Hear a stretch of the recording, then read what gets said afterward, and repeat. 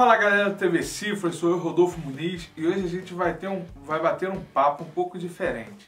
É, hoje a gente vai trocar umas ideias de algumas experiências que eu já tive que é, e, e é uma dúvida muito frequente que as pessoas às vezes me perguntam que é como que eu vou faço para comprar uma guitarra usada tal. Algumas pessoas têm um preconceito com relação a isso e se a gente se atentar a alguns detalhes é, o instrumento usado pode ser uma boa alternativa a um preço bem razoável.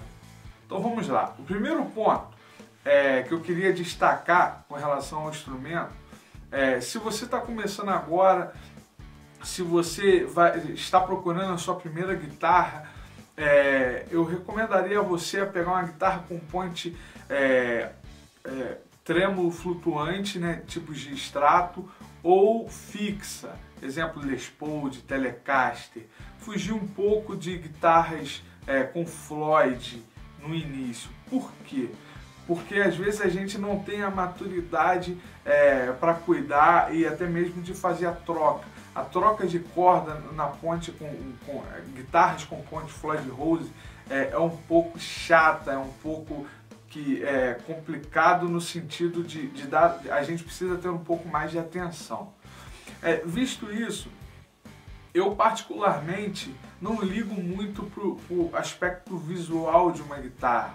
É, eu tenho uma guitarra minha particular que ela tá bem detonada, já tem alguns é, talhados na pintura, algumas batidas, marcas de uso normais é, porque é uma guitarra já bem antiga e eu peguei ela usada. E essa guitarra foi um achado para mim é, com relação à ergonomia do braço, é, é, era um shape que eu gostava demais, que eu gosto demais e foi um achado para mim. Só que a gente precisa ter alguns cuidados. Primeiro cuidado, é, a primeira coisa que eu vou olhar na guitarra é com relação ao braço é, às vezes a gente não dá a, a devida atenção a isso. É, a guitarra, diferente do teclado, é, é, um instrumento que a gente precisa fazer manutenções constantes.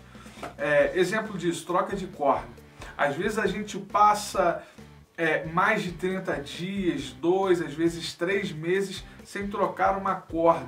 O que, que isso vai acontecendo? Isso vai, é, conforme a corda vai enferrujando, o atrito que a gente faz com o traste vai, é, vai causando deformidades nesse traste.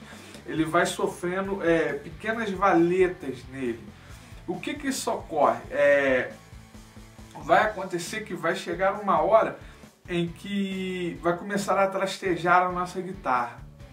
É, quando acontece isso, é, geralmente as pessoas procuram vender tal, porque uma troca de traste, um trastejamento é, é um serviço um pouco complexo.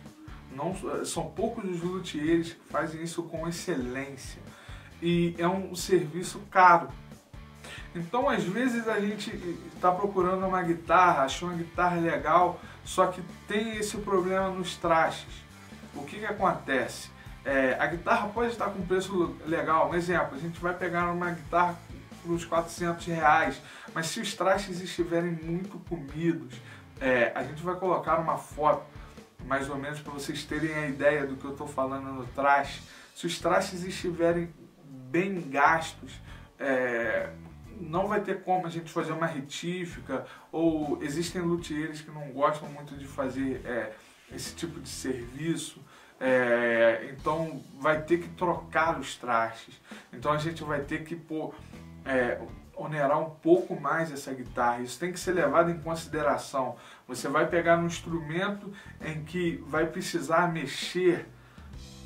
É, eu acho que seria o primeiro ponto. O segundo ponto é, é ver se o braço está empenado ou não.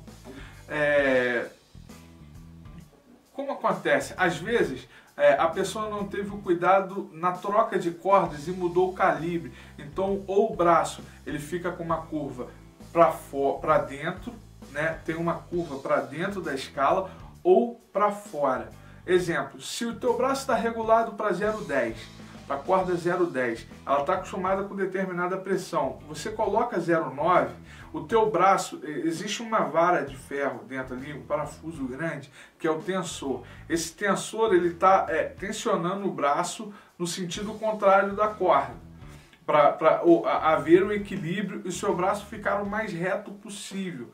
Se você troca a, o seu encordoamento para 0,9 e está regulado para 0,10, a tensão das cordas é menor. Logo, o braço vai fazer mais força e ele vai para trás.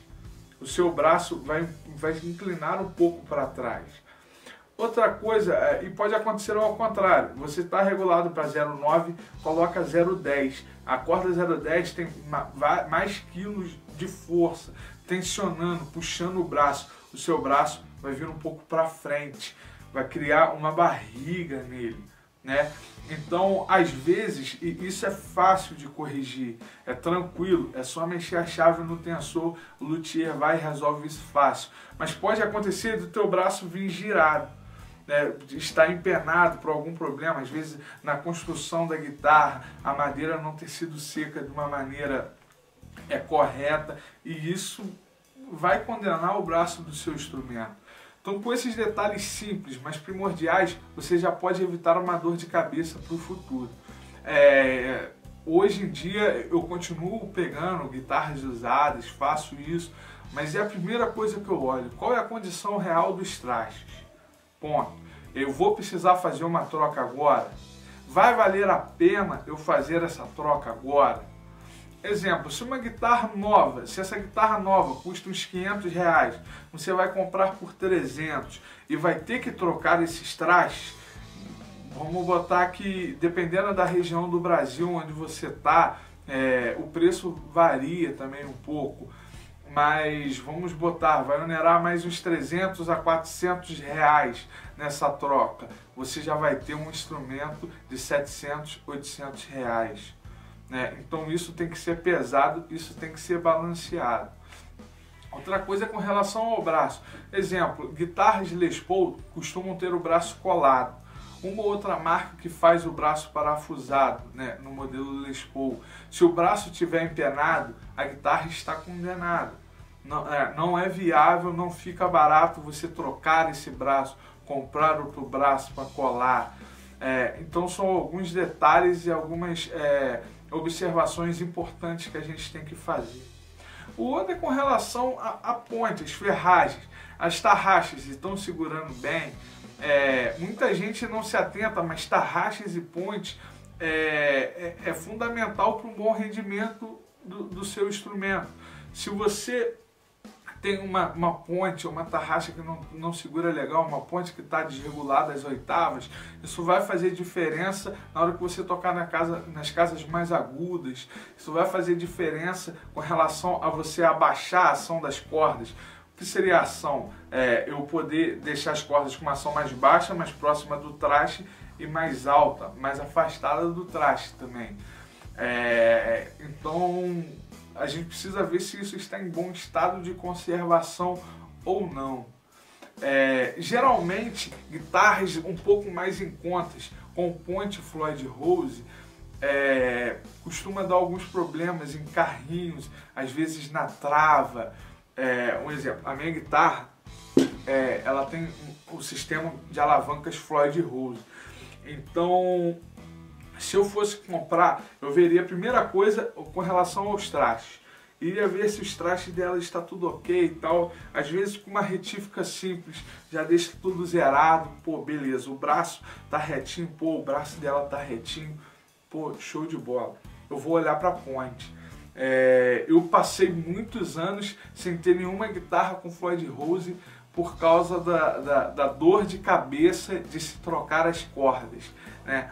Outro dia eu até postei é, no Facebook que umas alavancadas não valiam o trabalho de se trocar a, a, ponte, as cordas com essa ponte, que é um pouco enjoado. Então, às vezes, a guitarra tem um pouco um preço mais em conta, tá usada, só que a ponte está ruim. É, pô, acho que não valeria a pena você pegar uma ponte é, as famosas xing-lings, né? pontes que, de uma procedência de um material um pouco inferior para colocar na guitarra, sabendo que daqui a, a, a um, seis meses, é, um ano ou até dois anos vai dar problema. Então você tem que comprar um material de qualidade, uma ponte boa, que uma ponte feita com liga de aço e isso já fica caro. Às vezes só o valor da ponte é, o, é, é, é mais que o valor da guitarra. Então são detalhes que a gente precisa saber para ver se vai valer a pena o investimento. Com relação a captadores, eu, eu sou mais tranquilo, é, porque dá para se tirar sons bem convincentes com a maioria dos captadores que vem nas guitarras. Mas é, conforme você vai juntando dinheiro, é, você vai trocando uma peça ou outra. São coisas um pouco mais fáceis que a gente pode ver, vai ser as conexões, os jacks, potenciômetros, mas isso é mais barato. Então, às vezes, mesmo que esteja com mau contato, pode valer a pena você fazer esse investimento. Eu acho que esses seriam os pontos principais na hora de você comprar a sua guitarra usada. Primeiro, analise os trastes. Os trastes estão muito gastos. Eu vou precisar trocar esses trastes. Segundo, o braço. O braço ele está torto, ele está empenado, né? ou ele só está com, com uma curvatura é, por causa do, do, do, calibre que está diferente. Geralmente as, cordas, as guitarras vêm com cordas 0,9 de fábrica. Então, se a pessoa coloca 0,10, a tendência é esse braço ir um pouco para frente. É, com relação à ponte e as tarraxas, pô, a ponte está legal, está segurando, pô, tá com problema, não está segurando a afinação, as tarraxas, as oitavas estão regulando tudo tranquilo. Isso é muito importante para o rendimento, o teu rendimento, o teu som. E por último seria com relação a captadores e as demais partes, potenciômetros, jack, a chave seletora, e isso é um pouco mais em conta. Se você tomar esses cuidados básicos, eu tenho certeza que vocês podem achar guitarras super legais, em preços bem acessíveis e até mesmo alguns achados. Eu tenho a guitarra que eu já falei, que é o meu xodó, em que eu paguei um preço muito barato. Eu paguei em torno de 400 reais nela e já recusei 1.500, 2.000 nela é uma guitarra espetacular, uma excelente tocabilidade e isso pode acontecer. Só você tomar certos cuidados, é, analisar bem isso, leve sempre no seu luthier de, de, de confiança, leve a sua guitarra sempre para fazer uma manutenção. Todo instrumento pintou uma dúvida, leva no seu luthier. Né? Hoje em dia, com a facilidade dos fóruns também, existem vários, tenho certeza que existem vários grupos falando sobre isso tire suas dúvidas, tem sempre alguém que pode te dar uma informação útil com relação a isso, beleza? Galera, eu espero que vocês tenham curtido. Foi um pequeno bate-papo é, sobre como comprar a nossa guitarra usada. A gente se encontra por aí, se inscreva no canal e até mais.